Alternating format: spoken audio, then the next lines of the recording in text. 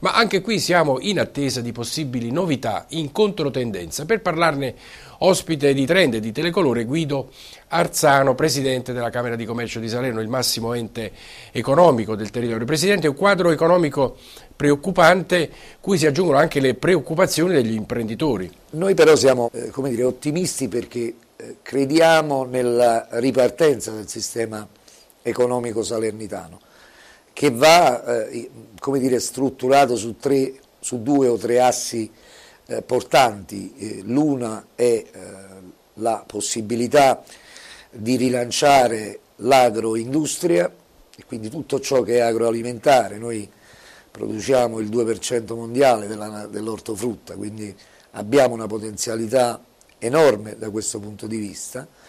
La seconda è sicuramente la, eh, il turismo, voglio dire, perché proprio integrati i due sistemi, agroindustria e turismo, possono dare eh, all'interno di un ragionamento però ovviamente eh, condiviso, ehm, passando da un distretto turistico a una società di trasformazione urbana, eh, dare quella spinta per il valore aggiunto.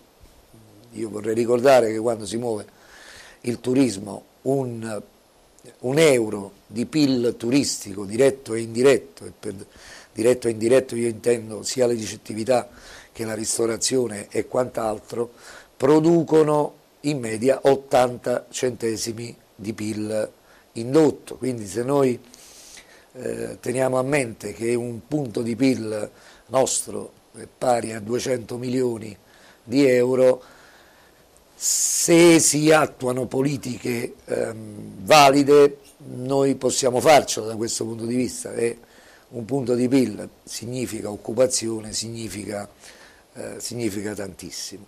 Ovviamente il terzo pilastro è sicuramente la internazionalizzazione perché? Perché in un momento in cui la domanda interna stenta a riprendersi è del tutto evidente che per mantenere, mantenere i livelli occupazionali da una parte e i livelli produttivi dall'altra bisogna trovare nuovi mercati.